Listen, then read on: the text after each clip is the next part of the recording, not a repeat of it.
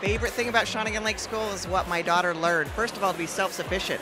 She was accountable for doing her own homework, for making it to practice and school on time. All the stuff she never learned at home, she managed to learn at school. My favorite thing about Shawnigan is I feel like it gives everyone an opportunity to do their maximum. They get a chance to see their full potential because they get the opportunities and it's celebrated. The kids are doing great and they go happy to the school. They love the school.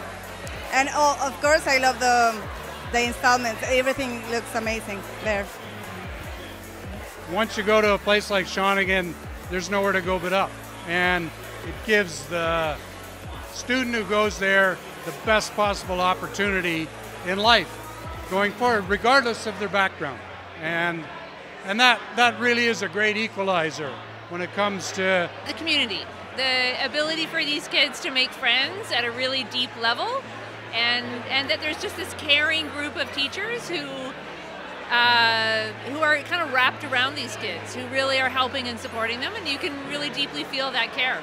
Take advantage of the opportunity that has been given to you to create such a huge foundation for your future. Don't squander this, don't waste this, because so much has been given to you. Now, so much will be expected. So seize the opportunity.